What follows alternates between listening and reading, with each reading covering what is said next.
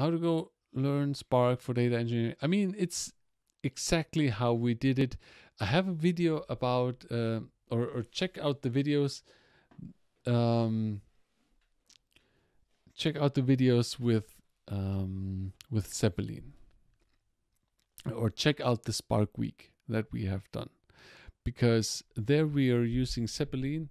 Basically, Zeppelin is like a notebook for Spark, and with this you can uh, learn a lot of functionality of Spark and um, just start with a visual visual thing.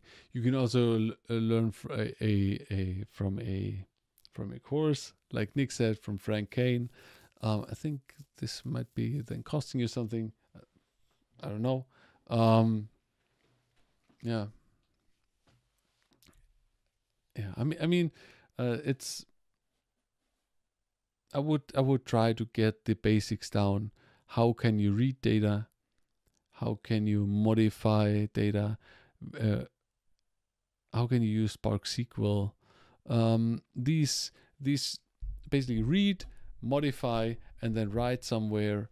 Um, these are more or less the basics, and you can try this all out in with Zeppelin or you can write a Spark application, but then you need to have a Spark Docker.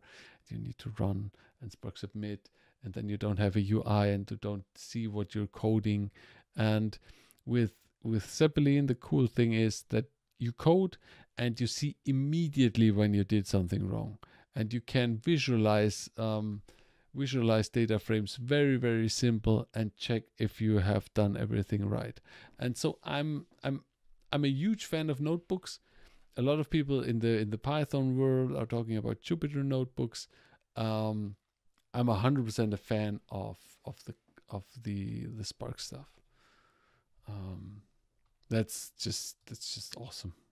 That's just awesome. Let me just.